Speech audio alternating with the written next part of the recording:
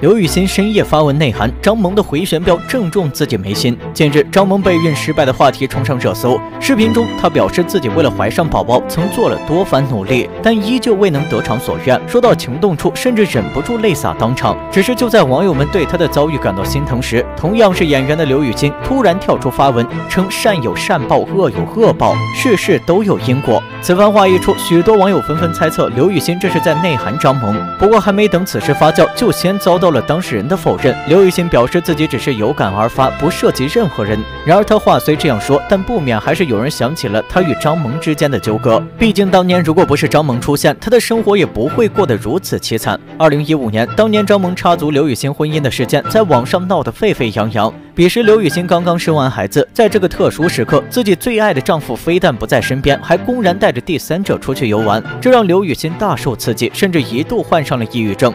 为此，他直接下场手撕张萌与前夫。然而，对于原配的指责，张萌却毫无内疚，反而极其嚣张，不但发出白眼照挑衅，还晒出了和刘雨欣前夫李萌的亲密合照。刘雨欣虽然在感情中非常卑微，但也不是任人拿捏的主。她直接拿出了自己曾经的军人身份进行反击，一时激起千层浪。眼看事情越闹越大，甚至激起了民愤，涉及了法律法规。张萌再不敢放肆，最终乖乖在社交平台上发布了道歉声明，并且事后他还多次哭诉说自己。也是被李萌所骗，本来不是听，本来这个事儿就不是一个多光彩的事儿，但是我也委屈啊，我我也是。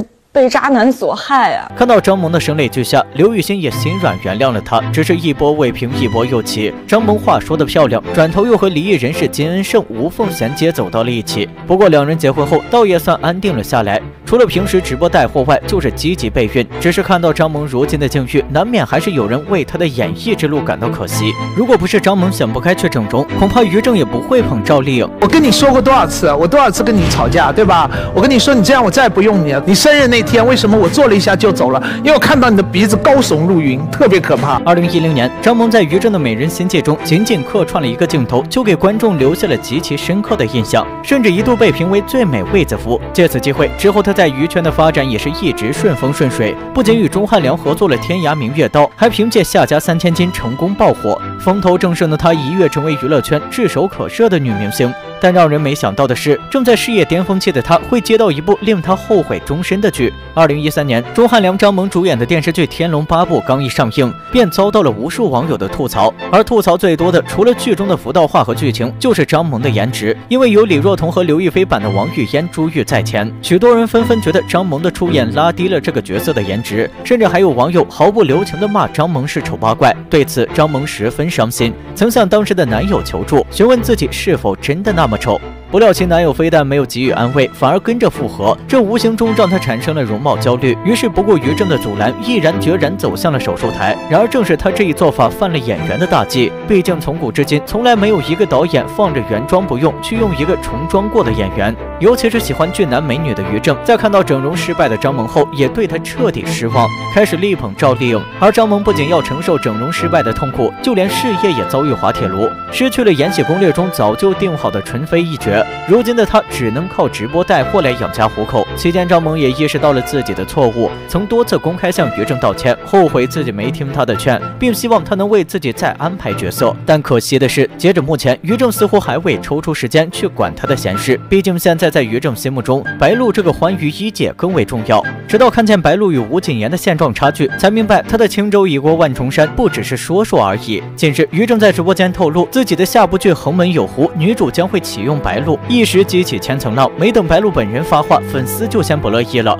有人认为于正此时拿白鹿说事，就是为了给他自己挡枪。毕竟他和祝绪丹的番位事件早就闹得沸沸扬扬，也有粉丝质疑他的导演水平，希望他能放过白鹿。甚至还有粉丝怀疑这就是第二个上时。想当初，吴谨言和白鹿都还是凤求凰中没什么名气的小配角。这部戏中，吴谨言的角色虽然没什么存在感，但好歹让他有了名气，在观众面前露了面。而饰演霍璇的白鹿却因为于正。的魔改被认为是资源咖，遭遇了一波又一波的嘲讽。没等白鹿这边解释清楚，那边吴谨言就先一步凭借《延禧攻略》火出了圈。同年跨年晚会上，白鹿与吴谨言一同出席，但从头到尾都只能给吴谨言作配，在大合照时更是只能站在吴谨言身后，露出一个脑袋。而到了第二年，于正再接再厉，斥巨资又为吴谨言打造了一部《浩然传》，白鹿则因为没有合适的内戏，去接拍了外戏《招摇》。但命运有时就是这样无常，于正花费心力拍摄的《浩然传》直接血扑，他所力捧的吴谨言也因为言行不当，口碑人气直线下跌。而同时间的白鹿在接到外戏后，反而因祸得福，小火了一把。之后的《周生如故》让他顺利跻身流量小花行列。